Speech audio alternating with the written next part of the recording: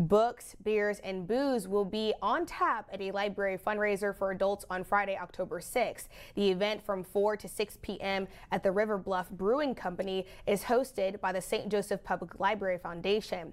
The cost to attend the event themed Twisted Fairy Tales is $20 and includes a beer, snacks, and a books, beers, and booze pint glass. People can pay in advance or at the door, but there are a limited number of collector glasses available. Pint glasses can be paid for in advance at boo.sjc.marketing. To reserve a glass but pay at the event, email mrevels at sjpl.lib.mo.us.